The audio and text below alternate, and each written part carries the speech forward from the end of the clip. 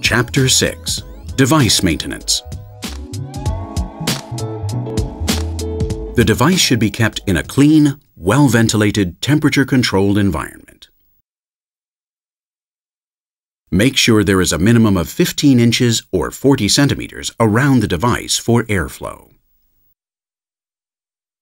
In the back of the device, you will find the on-off button, the interlock key, the foot pedal insert, the device filter, and water canister.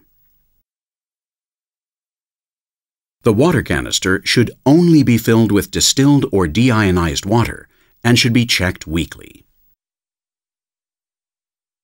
The back filter is easily removed and cleaned with a vacuum or canned air once per week.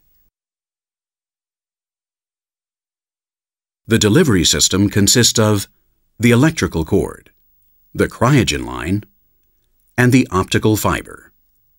It must be handled at all times with extreme care. Make sure the cables are hung and not on the floor.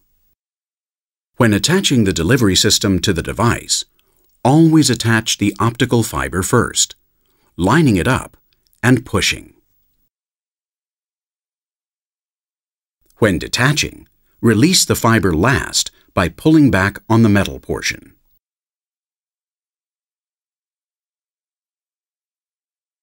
To attach the electrical cord, line up the red dot to the red line.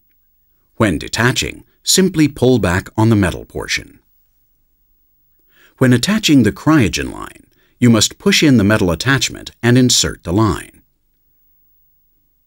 The metal attachment will spring back, securing the line.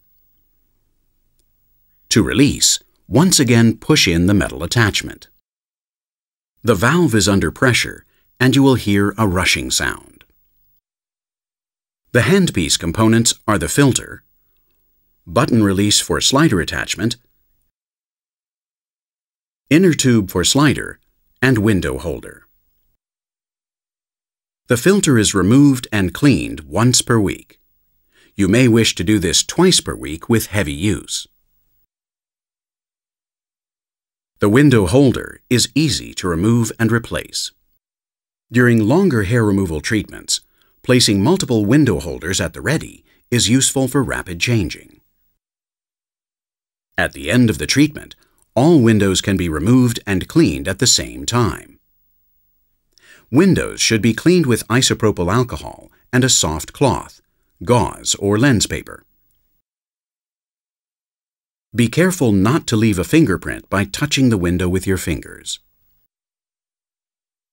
After each treatment, clean the inner slider area of the handpiece and the outer slider as demonstrated.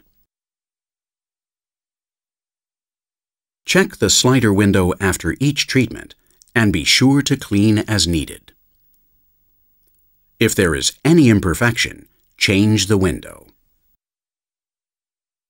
As mentioned earlier, the handpiece windows should be cleaned after each treatment with isopropyl alcohol and soft gauze. Unlike the slider window, they can be used with slight imperfections.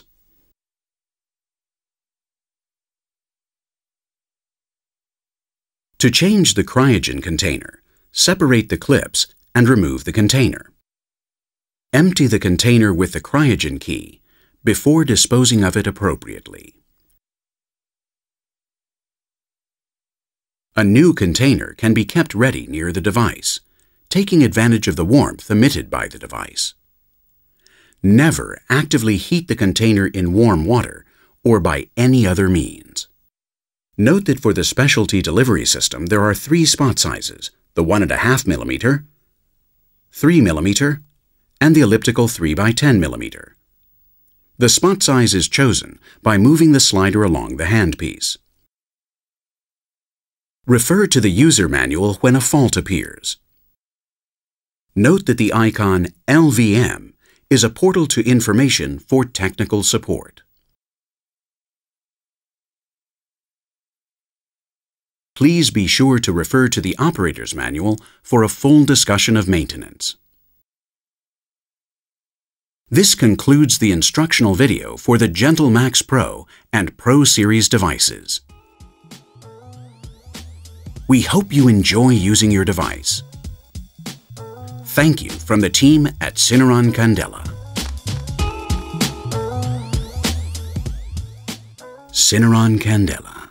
Science. Results. Trust.